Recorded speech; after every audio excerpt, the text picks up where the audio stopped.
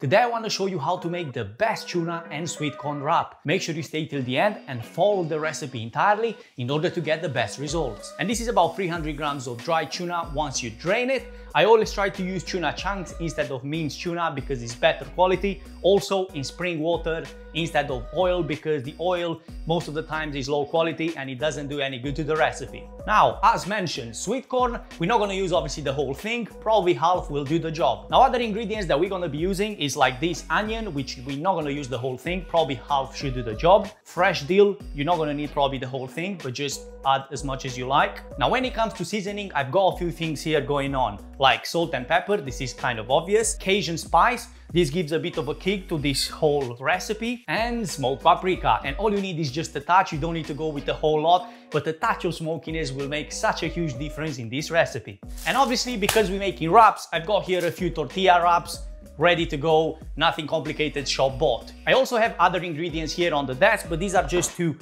get into the wrap once the filling is ready. And in order to get the best results, I would suggest to do your own mayonnaise, which is not that complicated. We've done it several times on this channel. All we need, one egg, which in the end we're using just the egg yolk. We've got here some mustard. I'm also gonna be adding a bit of lemon juice because it works well, lemon and fish, they work well together. And some veg oil, about 150 mils is all you need. And this is your mayo ready, nothing complicated and a lot better than the one that you buy in the shop.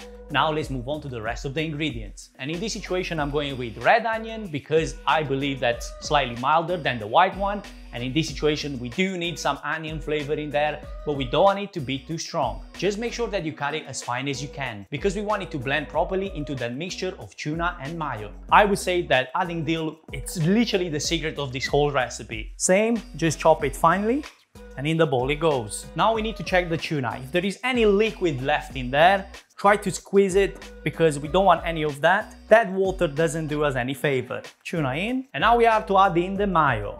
Sweet corn, about half a tin, no more than that. Again, just make sure that you don't get any of that liquid in there.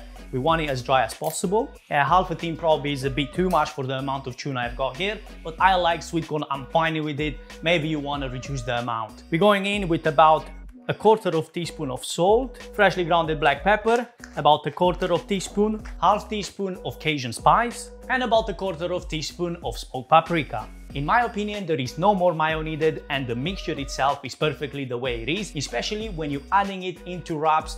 You don't want it to be too liquid, so when you bite into the wrap, it's going all over the place. Toasting your tortilla wraps before doing anything else is really important. Just wait for a few seconds and see the difference. Now we're talking, let's start rolling. So the first thing we want to do is add the salad right at the bottom. Add the tuna filling, not too much because after that you're not going to be able to roll it. Few slices of cucumber because they work really well with tuna and some cheddar cheese. And my friends, I really hope that you enjoyed this recipe and if you did, make sure you subscribe to the channel and check this recipe right here, Cajun chicken wrap.